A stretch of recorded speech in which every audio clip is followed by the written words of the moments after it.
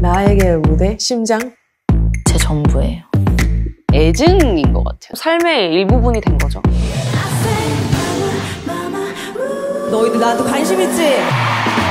너무너무 행복했고 더 설레기도 하고. 못하겠어요. 전 열심히 할래요. 처음 시작하는 마음으로. 마마무는 그렇게 앞으로 더 할 수 있을 것 같아요.